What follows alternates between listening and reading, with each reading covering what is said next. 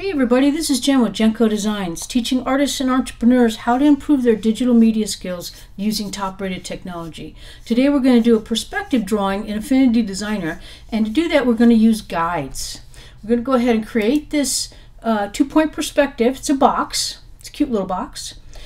I've gone ahead and set up a document with our vanishing points on it, and we're going to use a guide manager to uh, put in the horizon line and some other um, layout lines that we'd like. So come up to view at the top.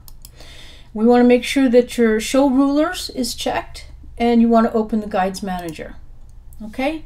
One of the easiest ways to add guides into your uh, drawing is to go ahead and pull them down from the rulers. So um, go up to the ruler and just click on it and pull down and you'll bring a guide in. I'm going to go ahead and turn snapping on up here make sure we get everything lined right up here.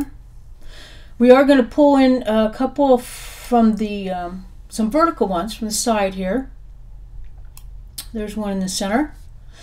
And we're going to add a couple, and I want to show you how to do that directly in the Guides Manager. So we're going to add a horizontal. So you come down here to this little symbol here, and add. Now it automatically adds it. I'm not exactly sure how it calculates that, but at least gives you one and you can put in uh, the precise location that you'd like to have the guide in. Okay, so we want to add a couple more over here. Uh, let's do one at, uh, to make this video short, I've already created the box. I just want to make sure that when we, that as we do this, that this all works. Okay. Okay, so there we have all of our guides. There is a button down here to remove all the guides, and we will use that at the end to remove the guides off the uh, drawing. So um, we'll go ahead and close the Guides Manager for right now. We're going to go ahead and start to do our lines from our vanishing points to create our perspective. Like I said before, I already have all this done to make sure that the video stays nice and short. We're just going to go ahead and turn them on. Now there's the two bottom lines that'll show the bottom of the box. We have uh, the left side there and the right side. Now I want to take a couple of seconds and let you know how I did this. What I did was I created a, um, I take a box, just a regular shape, and I bring in a box like this. And then I convert it to curves right here.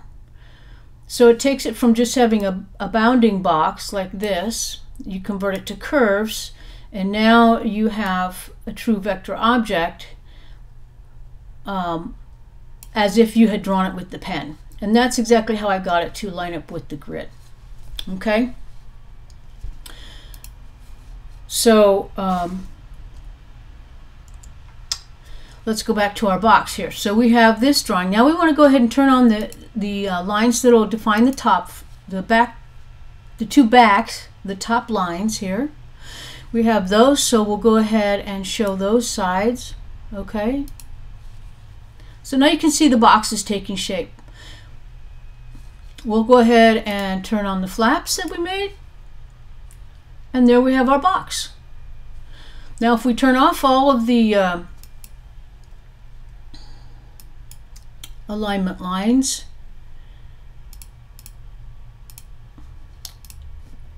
and we're going to go ahead, there's one, there's two ways to remove your uh, guidelines. One is you just um, go ahead and pull them off. You can just swipe them off and the other is to go back to the guides manager uh, here and just hit remove all guides. And there you go. There's your box.